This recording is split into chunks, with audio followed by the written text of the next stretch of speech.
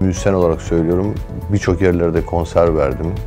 Ee, hiç akustiğe dikkat edilmez. Kütüphanelerde bile çoğu zaman çok dikkat edilmez. Burada çok ciddi bir yapı var. Çok bilinçli bir yapı var.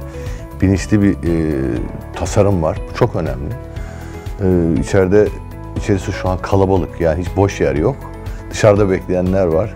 Ee, çocuklar dışarıda bekliyorlar. Ee, sanırım 30-40 kişi de dışarıda bekliyor. Çok kalabalık olmasına rağmen gerçekten son derece sessiz ve her bütün çocuklar ders çalışıyor. Ya anneleri babaları görse gözleri yaşarır. Bunu sık sık göstermek lazım. Böyle ders çalışan öğrenciler görüyoruz.